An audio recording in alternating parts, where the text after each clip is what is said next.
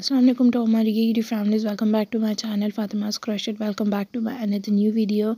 I hope you all are fine. Alhamdulillah I'm also fine. As you all have already seen the title of this video as you all are watching on your screens that in this video I'm going to show you the cutest and the latest collection of some free penny crochet frocks designing and detailing ideas for babies kids and newborns. So kindly if you are having any question related to this video just kindly let me tell in the comment section box. Inshallah available to give you all questions and answers and you can watch the best color combinations on your screens like some frocks are in light colors some frocks are in bright colors.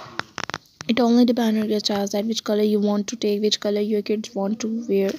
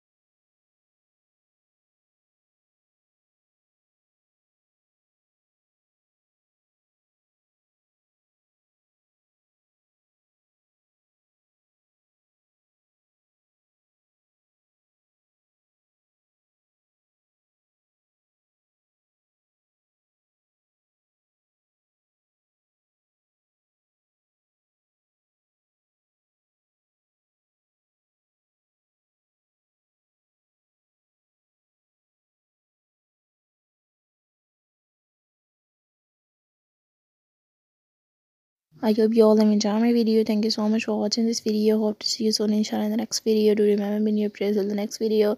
I hope you all like my video. You all are the color combinations of this crochet frocks. So take care. Allah Hafiz. Stay tuned. Stay connected for getting more and more ideas.